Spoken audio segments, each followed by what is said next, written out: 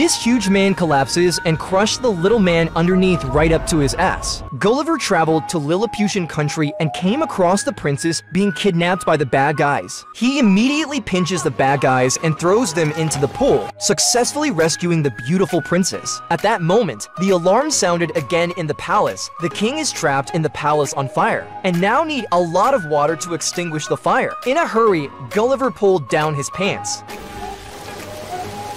Gulliver saves the king's life by dousing the fire with his urine. To show his gratitude, the king built him a one, zero square foot house with a sea view and appointed him the general to defend the entire Lilliputian kingdom. However, the dismissed general was jealous and secretly shut down the sea defense system, and the enemy country found out and attacked immediately. Gulliver immediately went down to the sea to fight alone, and the enemy ordered fired on him. Thousands of cannonballs were shot at Gulliver's body, but the next second,